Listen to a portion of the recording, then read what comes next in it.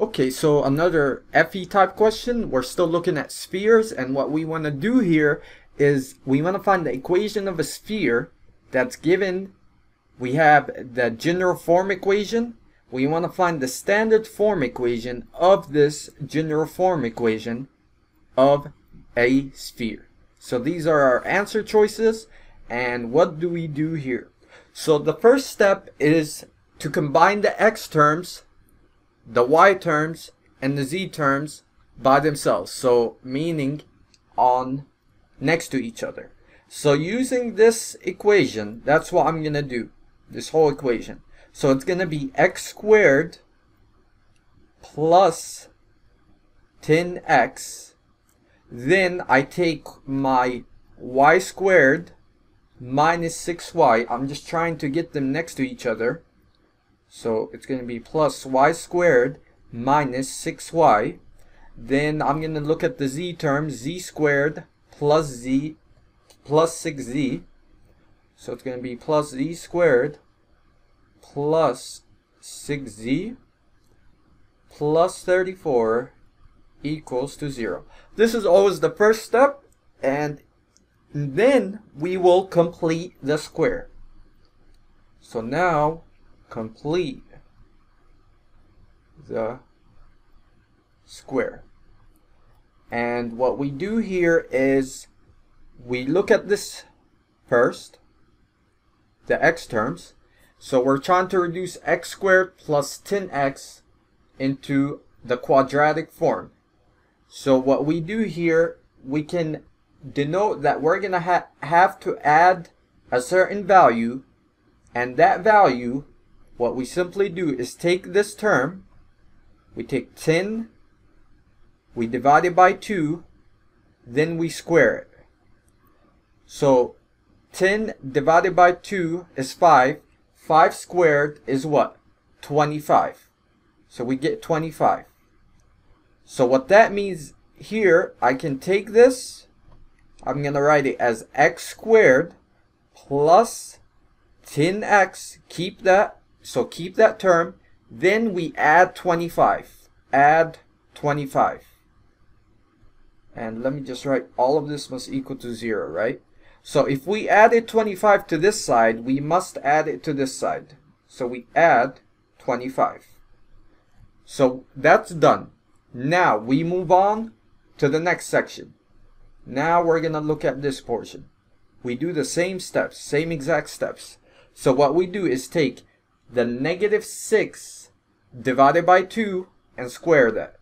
So I'm going to take negative 6 divided by 2, which is just negative 3, and negative 3 squared is just negative 3 times negative 3, which is going to be the 9. So we get 9, positive 9. So I can rewrite this plus y squared minus 6y and what value do we add? We add 9 plus 9. So we're adding 9 and what we do to that side, we must do to the other side. So we add 9 on this side. Now the last term is this term, z's. So we do the same steps. We take 6 divided by 2 and square that. 6 divided by 2 and square that. 6 divided by 2 is 3.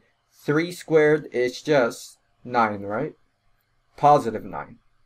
So we're just going to add positive 9. So I take my plus z squared plus 6z, add 9, and what I do to this side, I must do to this side.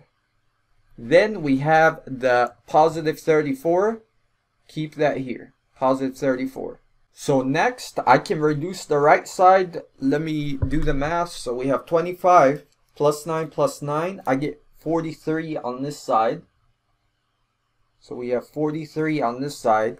And now we just complete, we know these are going to be reduced. These are perfect squares. So x squared plus 10x plus 25, this portion can be reduced to, to x plus 5 squared. We have that. Then y squared minus 6y plus 9, I can reduce this to y minus 3 squared. Don't forget that negative. If we have a negative here, put in that negative there. Then this one is just going to be what? The z plus 3 squared. What you're essentially doing here is taking the square root of the last term. The square root of 25 is just 5, right? The square root of 9 is just 3. But we add a negative, right? Because we have a negative here. So add that negative. Let me erase that just to make it clear. Don't forget that negative. Here we take the square root of 9, it's just 3, keep it as positive. We have a positive value there. And then we have plus 34.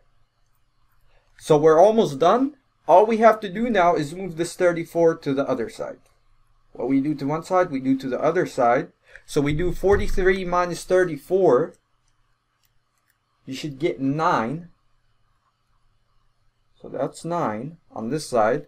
And these, you just bring them down. So it's x plus 5 squared plus y minus 3 squared plus z plus 3 squared. And I believe we did that correct. And if you look at the answer choices, it should be B. So that's all. You're completing the square. Let me know if you have questions. Please subscribe, like, and thank you.